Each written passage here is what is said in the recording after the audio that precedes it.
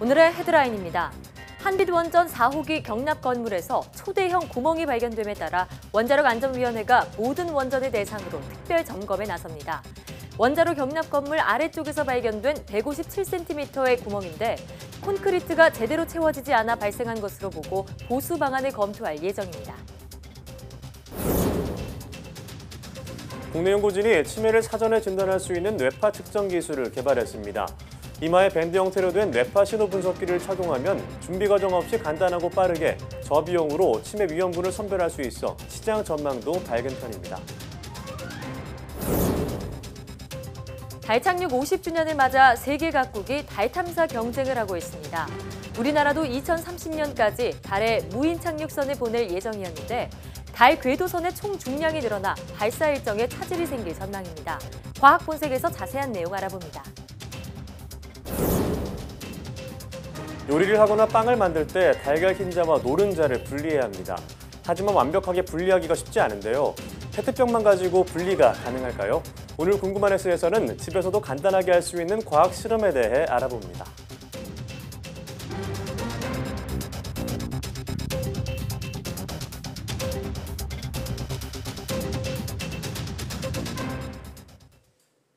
여러분 안녕하십니까? 사이언스 투데이입니다.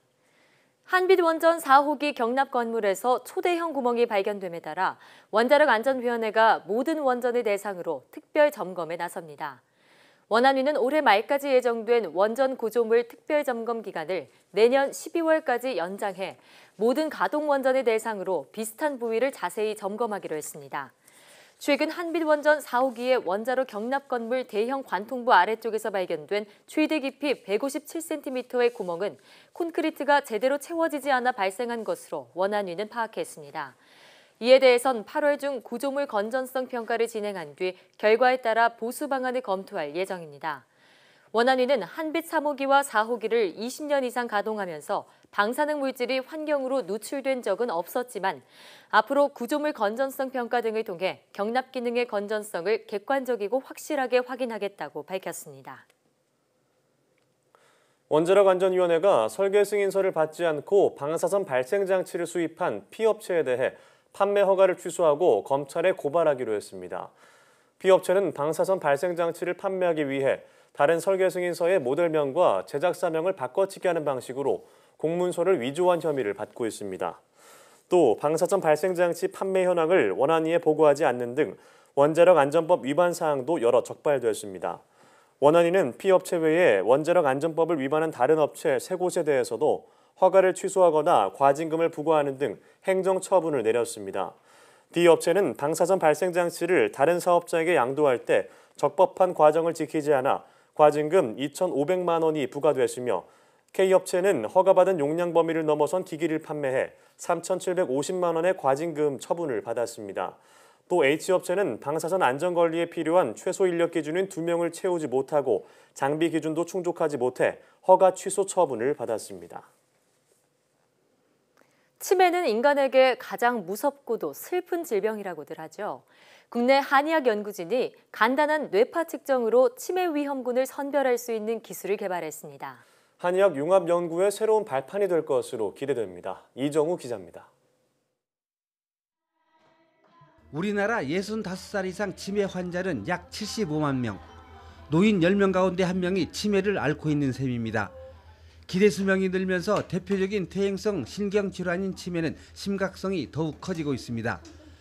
지금까지 개발된 치료제는 증상을 완화, 지연시키는 효과가 있지만 완치가 어렵다 보니 조기 진단이 중요합니다. 국내 연구진이 치매를 사전에 진단할 수 있는 뇌파 측정 기술을 개발했습니다.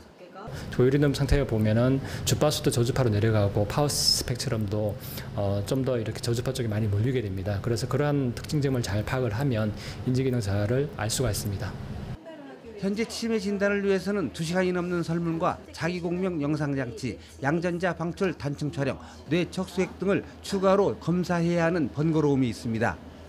연구팀은 이런 수고 대신 이마에 밴드 형태로 된 뇌파 신호 분석기를 착용하는 것으로 치매 위험군을 선별할 수 있다고 설명했습니다.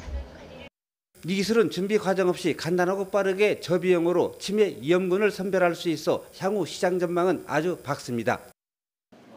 이미 경남 의령군 복지 사업인 뇌 노화지도 구축 사업에서 500여 명을 상대로 임상 시험을 거쳤습니다. 향후 인공지능 한의사 기능에 생일상 생활 속 공간에서 치매 위험도를 알려드릴 수 있는 기능이 추가될 것으로 예측합니다. 건강한 고령화 사회와 한의학 연구의 세 장을 낸 이번 연구 논문은 국제학술지 사이언티픽 리포츠에 실렸습니다. YTN 이정호입니다. 국내 바이오 업계가 일본의 수출 규제 조치에 반발하며 철회를 공식 요청했습니다. 한국 바이오 협회는 우리나라를 수출 간소화 대상인 화이트리스트에서 제외하는 내용을 담은 일본 정부의 법령 개정안에 대한 공식 의견서를 일본 경제산업성에 제출했다고 밝혔습니다. 바이오 협회는 통제 대상이 되는 병원균과 독소는 의약품 개발 같은 평화적인 목적으로 사용되고 있다고 말했습니다. 특히 일본은 국내 의약품 수출입 규모가 크고 양국 기업 간 공동 연구와 기술 이전 등 협력 관계를 맺어오고 있다고 강조했습니다. 의약품 성분이 뒤바뀌어 허가가 취소된 골관절염 유전자 치료제 인보사 K주를 투여한 환자의 이상 반응 조사가 이르면 9월쯤 시작될 전망입니다. 이희경 식품의약품안전처장은 기자간담회에서 이 같은 일정을 밝혔습니다. 이 처장은 인보사의 허가 취소를 결정한 이후 지금은 환자 안전관리에 가장 집중하고 있다면서 환자 등록 상황을 고려할 때 9월쯤 검사를 시작할 수 있을 것이라고 말했습니다.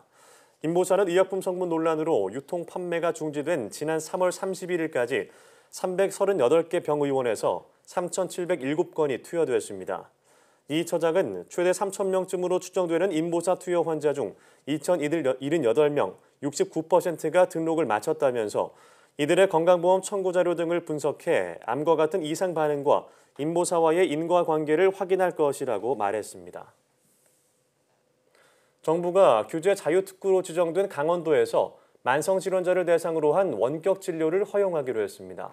네, 하지만 의사협회 등 의료계는 정부의 이 같은 계획은 의료법을 위배한 것으로 법적 소송을 비롯한 모든 수단을 동원해 대응하겠다고 강력히 반발하고 있습니다. 한영규 기자입니다. 정부는 규제 자유 특구로 지정한 강원도 원주와 춘천에서 1차 의료기관에 의한 원격 진료를 허용하기로 했습니다.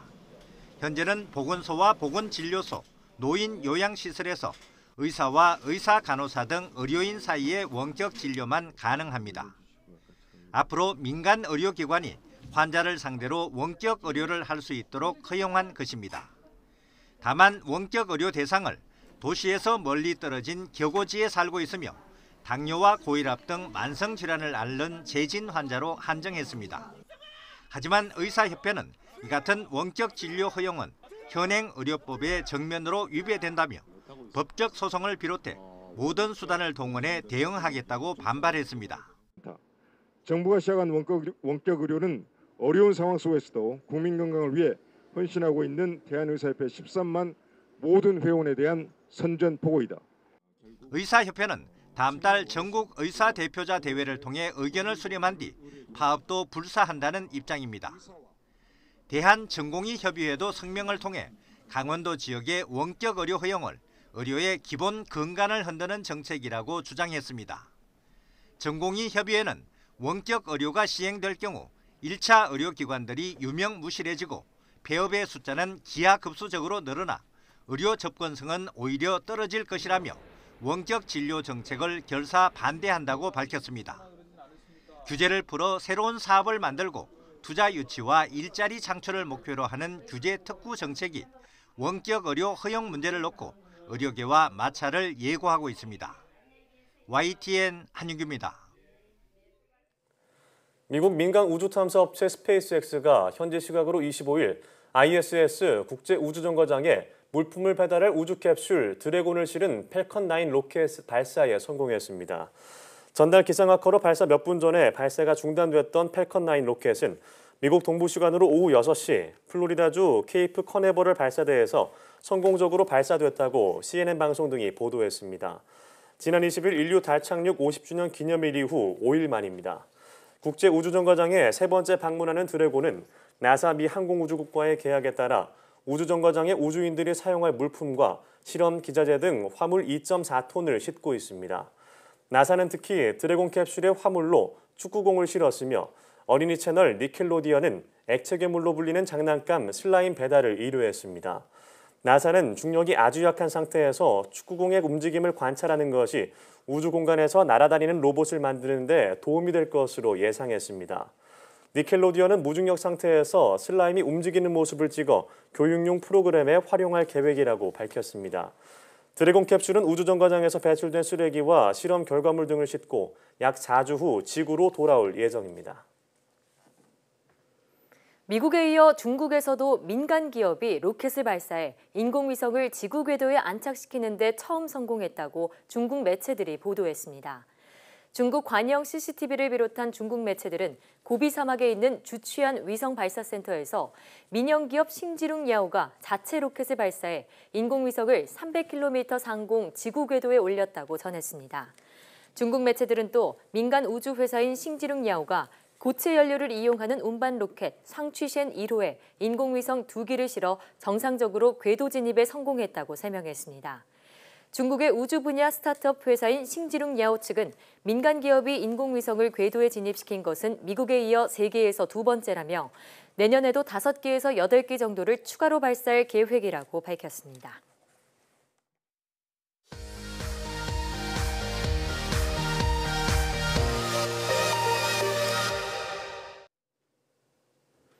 화제의 뉴스를 골라 과학 기자의 시선으로 분석하는 과학 본색 시간입니다. 네, 오늘은 이성규 기자와 함께하겠습니다. 안녕하세요. 안녕하세요. 네, 어떤 이야기를 나눠볼까요? 지난 주말 미국 전역은 이 아폴로 10으로 달 착륙 50주년 기념 행사로 떠들썩했죠. 네.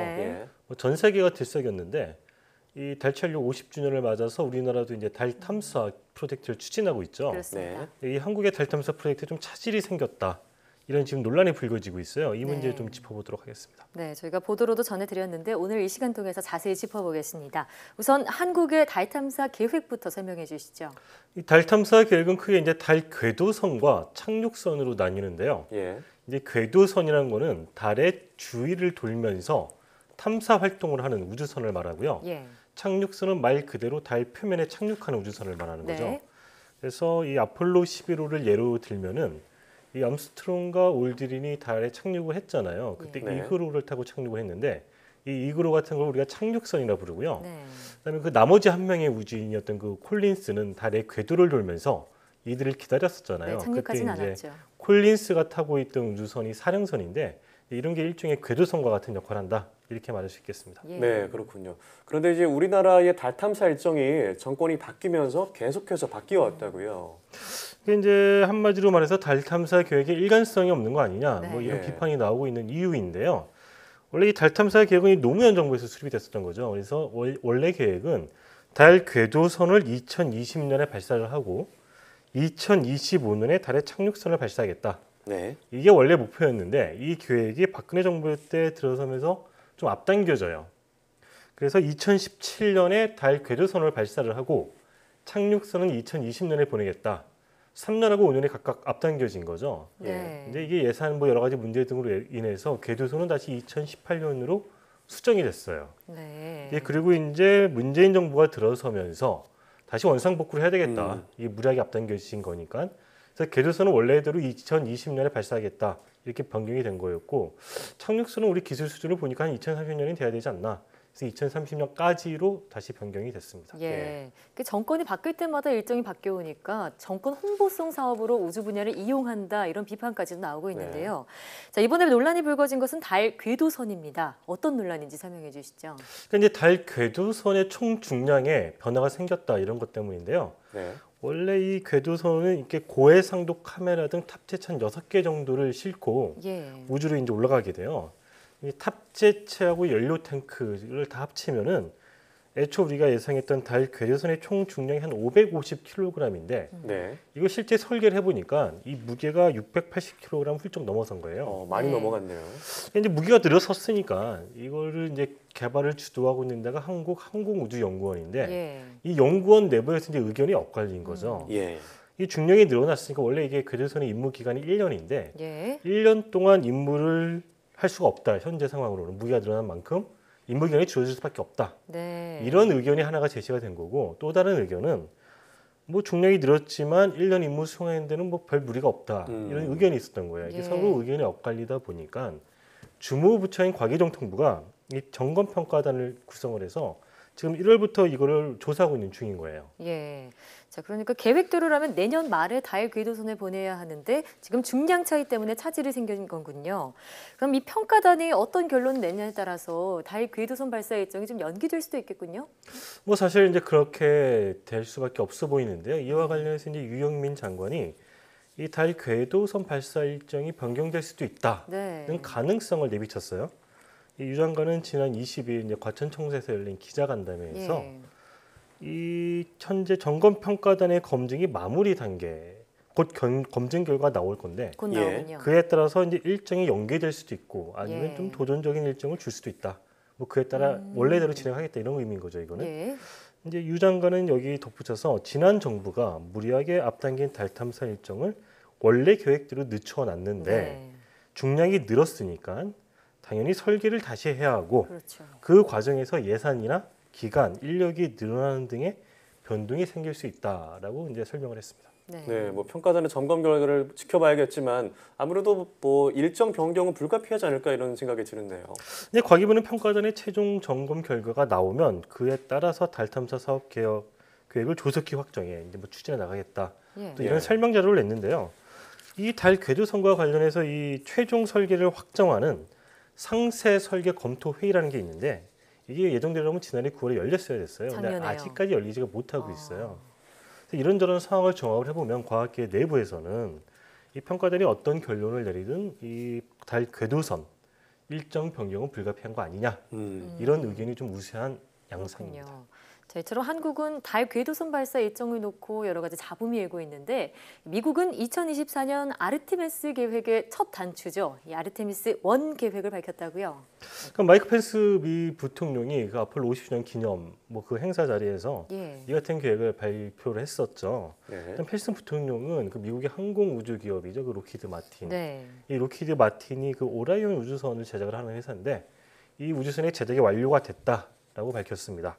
이 오라이온 우주선은 그 아르테미스 달 탐사 계획에 쓰일 우주선을 말하는 거거든요. 그러니까 뭐 예. 아폴로 계획의 그 아폴로 우주선이랑 같은 애다 이렇게 이해할 수가 있습니다. 예. 이 아르테미스 원 계획은 이 오라이온 우주선을 이용을 해서 내년 여름쯤에 달 궤도에 네. 이 우주선을 보내는 것을 말하거든요. 음. 이 계획은 우주인이 참여하지 않고 무인으로 아. 진행이 될 예정인데 네. 이 오라이온 우주선의 어떤 비행 성능, 우주 성능 같은 거를 좀 알아보기 위해서 어. 뭐한 테스트 차원에서 보내는 것이다 이렇게 볼 수 있습니다. 네. 네, 그럼 이제 아르테미스 아, 아르테미스 1 이후에 2, 3 이렇게 있는 걸로 알고 있는데 그 임무들은 어떻게 되는 걸까요? 그러니까 이제 아르테미스 2, 3 계획이 이 원이랑 다른 점은 원은 무인 탐사고 예. 2부터는 이제 유인 탐사 계획이 되는 사람이 거예요. 네. 그래서 아르테미스 2는 이제 그 우주인이 탑승을 하는데 예. 달에 착륙을 하진 않고 달 궤도까지 우주인을 보내겠다. 어. 이게 아르테미스 2 계획인 거고요. 예. 이제 아르테미스 3 계획은 우주인이 직접 탑승을 하고 또 착륙도 시키겠다. 어. 이게 이제 우리가 말하는 아르테미스 계획의 어떤 본 계획이라고 볼 수가 있죠. 그렇겠군요. 2024년으로 예정이 돼 있는. 예. 그 아폴로 이 경우에도 이 아폴로 11호가 달에 착륙을 했잖아요. 음. 근데 아폴로 1호부터 10호까지 그 이전에 계속 달 궤도까지 보내는 그런 연습을 좀 했었어요. 네. 네. 이번에 그 아르테미스 계획도 이 3가 본 계획이라면 예. 1, 2는 이제 그거를 위한 어떤 좀 테스트라 음. 이런 성격이 있다 이렇게 볼 수가 있습니다. 그렇군요. 근데 이 말씀하신 오라이온 우주선 모듈이 승무원 모듈과 서비스 모듈 두 가지로 구성되어 있다고 알려져 있는데요. 어떤 차이점이 있는 건가요? 그러니까 이제 승무원 모듈은 실제로 이제 승무원이 탑승하는 공간을 말하거든요. 예. 이 공간에 타서 이 우주선을 조종하는 곳이다. 이렇게 이해할 수가 있어요. 네. 그리고 이제 이 서비스 모듈은 그 승무원 모듈 밑에 달려 있는 부분인데 예. 이 부분은 연료하고 전력 등을 공급하는 어. 그런 역할을 하는 거예요. 기능이 다르군요. 예. 그래서 승무원 모듈은 이 미국의 록히드 마틴이라는 그 항공 우주 업체가 제작을 한다. 예. 앞서 설명을 했고요. 이 서비스 모듈은 미국 회사가 아니라 유럽의 에어버스사가 제작을 했어요. 네. 왜냐하면 이 오라이온 이 우주선 자체를 이 나사하고 그 유럽 우주 항공 그 ESA하고 협 같이 협업을 해서 네. 만들기로 해서 각각 이 역할을 분담을 한 거죠. 예. 그 유럽이 이제 맡고 있는 이 서비스 모듈도 제작이 완료됐다. 그래서 이제 지난해 한 9월 미국 케네디 우주 센터로 이게 또 운반돼서 왔어요. 네. 그래서 이제 그 케네디 우주 센터에서 이 서비스 모듈이랑 이 승무원 모듈을 결합하는 그런 게 진행이 됐고 예. 지금 이제 물리적인 결합까지 마친 상태인 어. 거죠. 마쳤군요. 어, 그럼 이 아르테미스 one 임무를 위한 오라이온 우주선의 제작은 뭐 완료가 됐다 이렇게 볼 수 있을 것뭐 같은데. 사실상 끝났다고 볼 수 있습니다. 예. 그럼 이게 그 2024년까지 달에 우주인을 착륙시키는 계획뿐만 아니라 또 2028년까지도 계획이 있다고요. 그래서 이제 2024년은 달에 우주인을 보내겠다. 네. 그래서 이제 최초의 여성 우주인을 포함해서 이번에 보내겠다라는 예. 계획이 있고요. 사실은 나사의 계획은 2028년까지로 잡혀 있는데 네. 2024년에 달에 우주인을 보내고 이후에 2028년까지 달에 이제 우주인이 거주할 수 있도록 뭐 만들겠다 어, 이런 좀 거주하겠다는 그런, 계획까지요. 그런 계획을 가지고 있어요. 예. 그 와중에 그 도중에 달에 있는 그 자원을 좀 활용하는 그런 연구, 그다음에 달에 대한 어떤 과학적 원리를 밝히는 그런 뭐 연구도 진행을 하겠다 네. 이런 계획을 담고 있는데 결국 이 아르테미스 달 계획의 궁극적인 목적은 이제 달을 발판으로 화성에 사람을 보내겠다. 유인 화성 탐사를 위한 어떤 전초 기지로 달을 활용하겠다. 어. 네. 뭐 이런 계획인 거죠. 이 계획 자체가. 네. 자 그렇습니다. 그런 얘기를 듣다 보니까 점점 더 미국의 상황이 부러워지면서도요. 이 한국의 달 탐사 계획 일정에 얽매이지 않고 말고 그냥 기술과 인력을 확보하는 데 더 집중했으면 좋겠다는 바람이 듭니다. 오늘 말씀 잘 들었습니다. 네, 고맙습니다.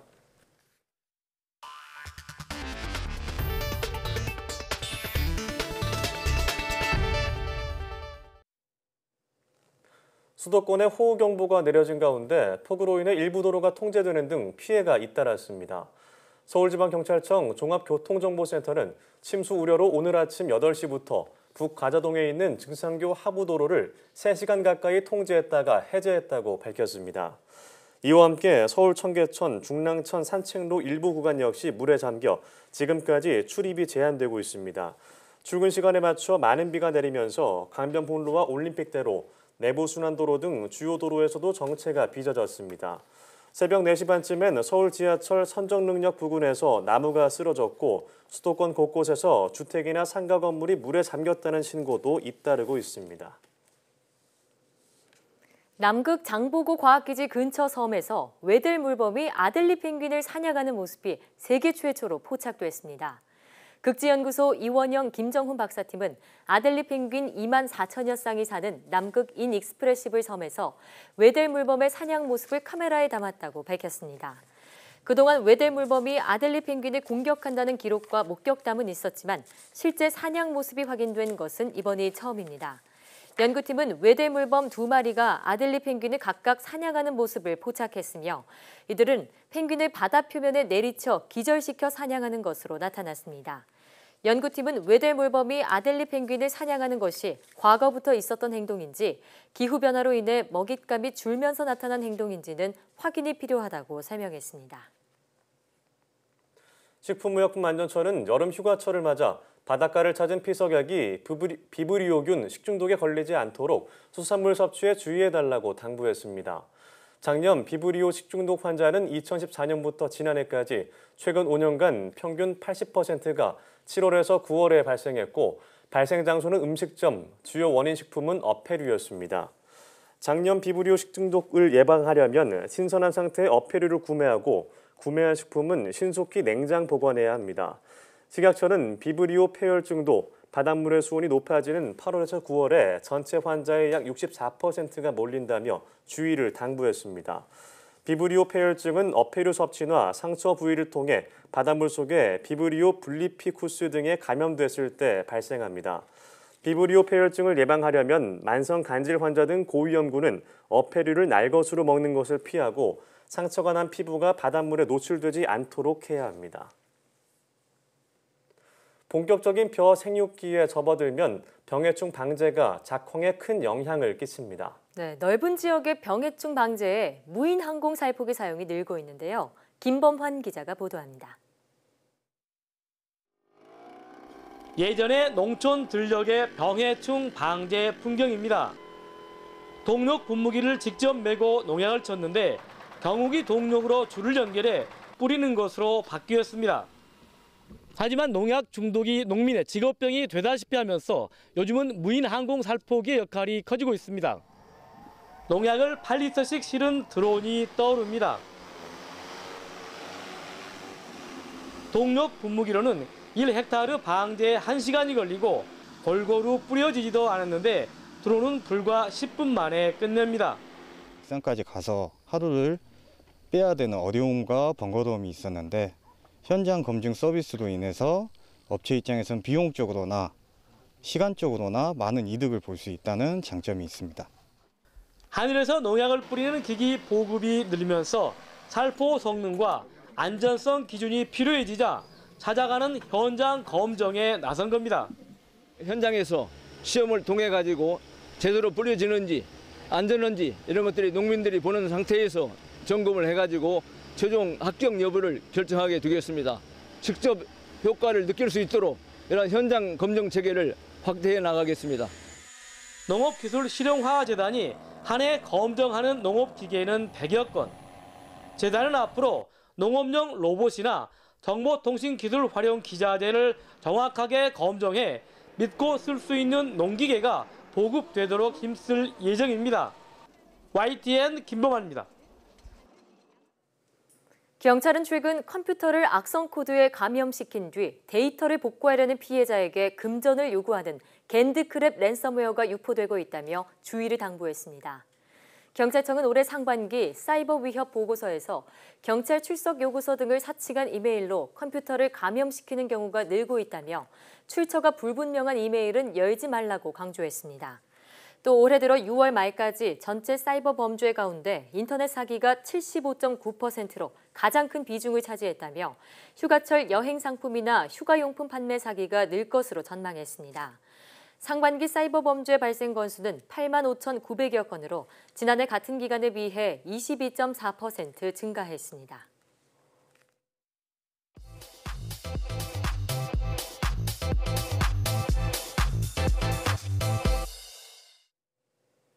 과학에 대한 모든 궁금증을 풀어주는 궁금한 S 시간입니다. 실험을 통해 과학의 원리를 배운다면 과학을 더욱 친숙하게 느낄 수 있을 텐데요. 탐구와 실험을 통해 느끼는 재미있는 과학의 세계는 무엇일지 지금 바로 화면으로 만나보시죠. 안녕하세요. 과학의 모든 궁금증을 해결하는 궁금한 S의 이호종입니다. 궁금한 S와 함께할 오늘의 이야기 만나볼게요. 오늘은 여러분들과 함께 흥미롭고 재미있는 실험 두 가지를 해볼 거예요. 먼저 첫 번째 실험부터 만나볼까요? 요리하거나 빵을 만들 때 달걀 흰자와 노른자를 분리해야 할 때가 많아요. 하지만 요리에 익숙하지 않은 사람들은 달걀 흰자와 노른자를 완벽하게 분리하기는 쉽지 않죠. 그래서 오늘 궁금한 S에서는 과학적으로 달걀 노른자를 분리하는 방법에 대해서 알려드리도록 하겠습니다. 실생활에서도 꼭 필요한 정보이니까요.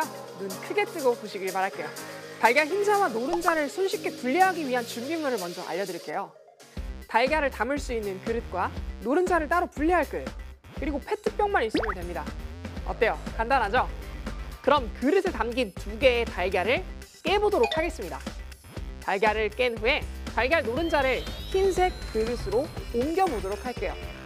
달걀을 확실하게 옮기기 위해서는 이 페트병이 꼭 필요한데요. 페트병을 꼭 눌러서 압축시켰다가 풀어주면 됩니다. 달걀을 한번 해볼까요? 어때요? 정말 쉽죠? 어떻게 달걀 노른자를 페트병으로 손쉽게 분리할 수 있는 걸까요?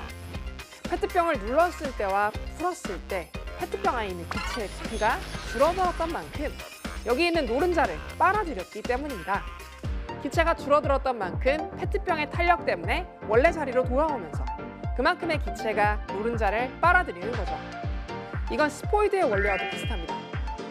누구나 다 아는 방법이라고요? 그래서 달걀 노른자를 분리하는 방법을 한 가지 더 알려드리도록 하겠습니다. 이번엔 이 유리병을 통해 달걀 노른자를 분리해 보도록 하겠습니다. 이 유리병은 힘을 가한다고 해서 부피를 줄일 수 없는데 어떻게 달걀 노른자를 분리할 수 있는 걸까요? 비밀은 이 뜨거운 물에 있습니다. 자, 유리병을 뜨거운 물에 데워주세요. 유리병을 잘 데웠다면 노른자에 가까이 대주세요. 천천히 노른자가 유리병 위로 올라오는 걸 볼 수 있죠.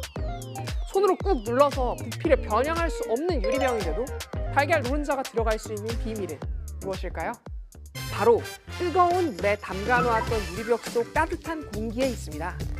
공기, 다시 말해 기체는 물질의 세 가지 상태 중 하나인데요. 열에 의해 만들어진 분자들의 운동 에너지가 서로를 끌어당기는 에너지보다 훨씬 커져서 분자들이 공간 속을 자유롭게 운동하는 상태를 기체라고 말합니다. 이 운동 에너지를 만들어주는 대표적인 원인이 바로 열이죠.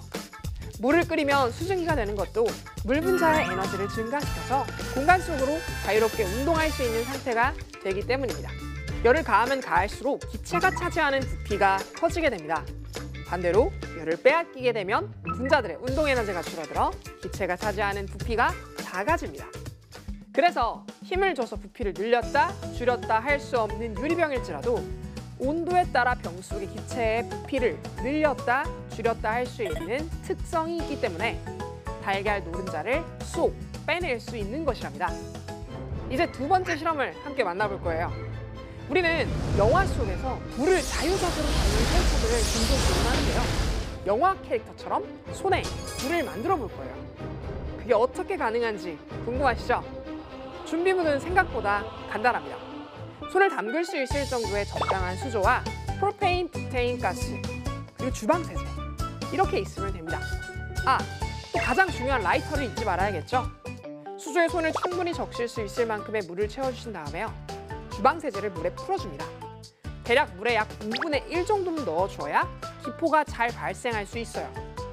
주방 세제를 푼 수조에 프로페인, 부테인 가스를 집어넣을 건데요. 방법은 간단합니다. 뚜껑을 따서 뚜껑을 누르면 가스가 나오기 때문에 가스를 수저 안에 꽂아주면 됩니다. 그럼 이렇게 보글보글 거품이 생기는데요.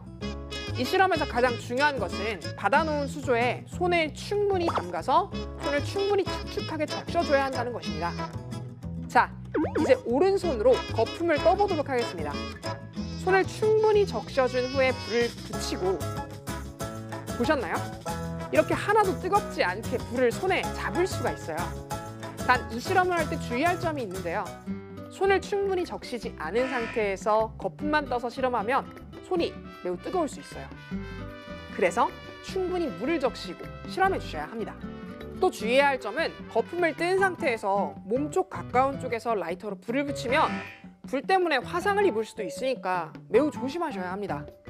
그래서 몸과 머리가 멀리 떨어져 있는 상태에서 불을 붙여주셔야 한다는 것도 꼭 잊지 마세요.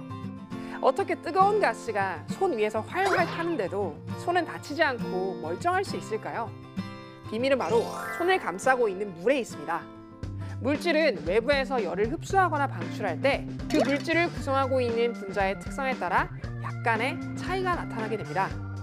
약간의 열 에너지가 전달되더라도 금방 온도가 오르내리는 물질이 있는가 하면 비교적 많은 양의 열 에너지가 전달되더라도 쉽게 온도가 오르내리지 않는 물질이 있습니다. 이러한 물질의 고유한 특성을 우리는 비열이라고 합니다. 사전적 의미로는 어떠한 물질을 1도 올리는 데 필요한 에너지의 양을 의미합니다. 그 양이 물질마다 조금씩 다른데 물은 이러한 비열이 아주 큰 액체입니다. 그래서 외부에서 열이 공급되더라도 쉽게 열이 오르내리지 않는 특징을 가지고 있습니다. 이 때문에 손 위에서 프로필렌 부테인 가스가 활활 타오르더라도 우리의 손은 물의 비열 덕분에 안전하게 보호될 수 있는 것이죠. 그래서 실험하는 동안 계속해서 손을 충분히 적셔야 한다고 했던 것입니다. 손을 충분히 적셔야 하는 이유 아시겠죠? 오늘은 집에서도 간단하게 할 수 있는 흥미로운 과학 실험 두 가지를 해봤는데요. 실험은 과학의 호기심을 자극하는 첫걸음인 만큼 안전하고 재미있는 실험을 통해 과학의 재미를 더 많이 느끼셨으면 좋겠습니다. 그럼 궁금한 S는 여기서 이만 인사드릴게요. 과학에 대한 궁금증이 있다면 언제든 YTN 사이언스 유튜브에 댓글을 남겨주세요. 이상 궁금한 S였습니다.